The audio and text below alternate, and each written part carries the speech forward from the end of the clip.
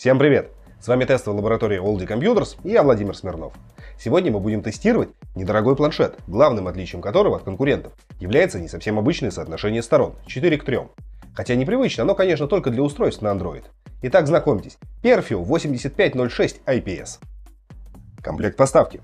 Сам планшет, блок питания на 2 ампера с неотсоединяемым кабелем, кабель для зарядки и синхронизации USB на microUSB, OTG кабель. Таким образом вы получаете возможность подключения к устройству внешних накопителей, манипуляторов, 3G модемов и так далее.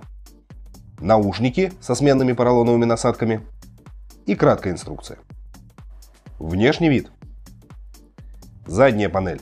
Здесь находится камера с разрешением 2 мегапикселя, отверстие скрытой кнопки Reset и выход внешних динамиков, а также отверстие для карточек памяти стандарта microSD. На верхнем торце расположена кнопка блокировки переворота экрана, качелька регулировки громкости, кнопка включения, выключения и блокировки.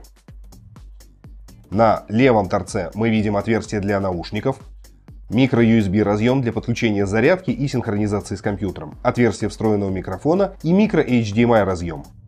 На передней панели находится еще одна камера с разрешением 0,3 мегапикселя.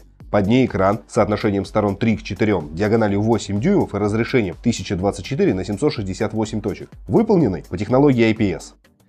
Габариты планшета 202 на 151 на 9,4 мм. Вес 404 грамма. Технические характеристики. Процессор. Двуядерный ROG-чип 3066 с тактовой частотой 1,5 ГГц. Видеочип Mali 400. Оперативная память 1 ГБ, стандарта DDR3.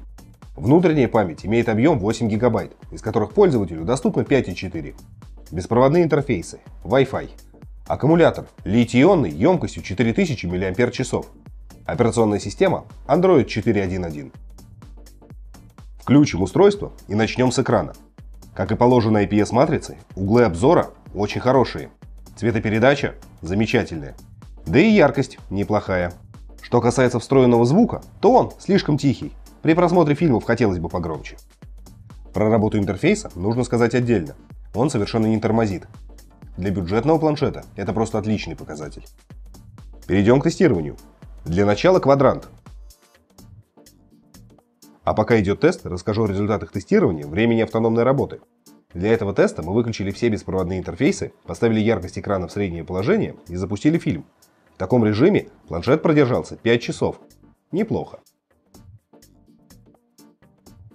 Тест завершился, и он поставил системе 4083 балла. Следующий тест Antutu Benchmark. Он выставил системе 10959 баллов. Просто отличный результат. Тест встроенной графики Nina Mark 2. Среднее количество кадров в секунду в этом тесте составило рекордные 63,7. Просто супер. Тест Multitouch. Одновременно устройство распознает 5 прикосновений. Ну и, наконец, реальные игры.